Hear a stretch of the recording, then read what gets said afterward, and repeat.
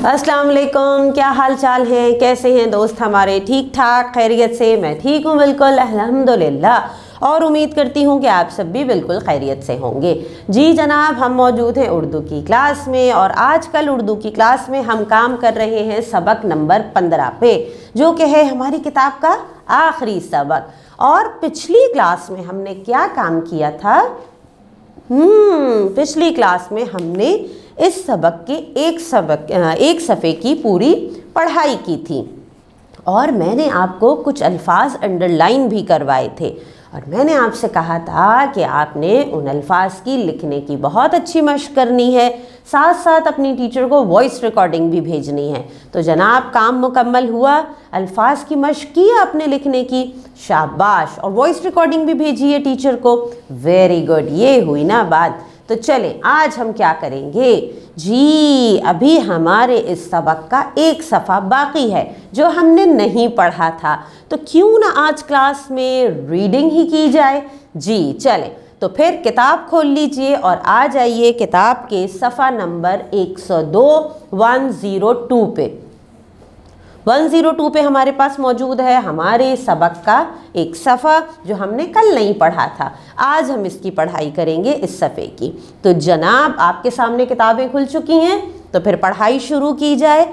सबक का नाम तो आपको पता है, सबक का नाम है हमारे नदी, फूल और चाँद। तो चलें पेज नंबर 102 पर हम मौजूद हैं और हम मिलके इसकी पढ़ाई करेंगे। पढ़ाई का तरीका आपको पता है, फिंगर रखिएगा वर्ड्स पे, मेरे साथ साथ पढ़िएगा, लेकिन बहुत हल्के हल्के आहिस्ता आहिस्ता पढ़ेंगे, जल्दी की कोई ज़रूरत नहीं है।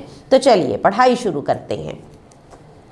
ये नदी पहाड़ के दामन में पिघलती बर्फ़ से बनती है और दरख्तों के बीच से रास्ता बनाती यहाँ फेरी मेडोज तक आती है। फिर ये इस मैदान को सैराब करती हुई ना जाने आगे कहाँ गायब हो जाती है। फेरी मेडोस पर नज़र दौड़ाएँ तो यकीन नहीं आता कि ये इस दुनिया की ही जगह है। हर तरफ़ फूल खिले हैं। रंग बिरंगे, कहीं घास लंबी है और घास ने भी फूल खिला रखे हैं।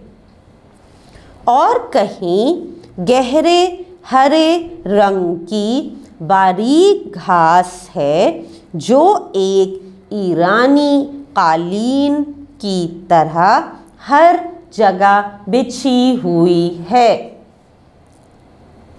पानी हो, घास हो दरख्त हो तो चिड़िया और बुलबुल तो लाजमी होते हैं।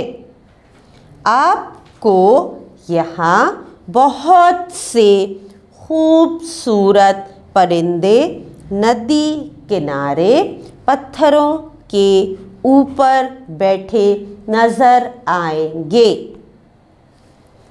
इस वसी मैदान में आपको बकरियाँ चरती, नदी का पानी पीती या किसी दरख्त के साय में बैठी जुगाली करती नज़र आएँगी।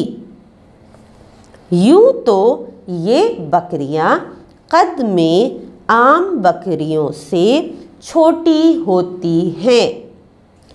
पर उनके बाल चमकदार और घुंघरियाले होते हैं। उनके सर और माथे के बाल देखकर यूँ लगता है कि अभी अभी किसी ब्यूटी पार्लर से तैयार होकर आई हैं। रात बसर करने के लिए यहाँ मकामी लकड़ी से बने कुछ घर किराए पर मिल जाते हैं। मगर बाहर से आने वाले अक्सर लोग फेरी मेडोस में खैमे लगाकर सोना पसंद करते हैं।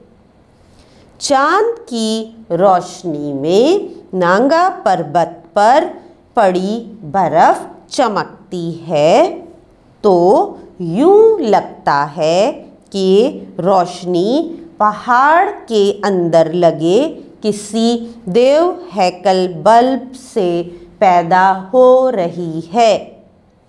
चाँद के नमूदार होने से पहले सितारे आपको हैरान करते हैं।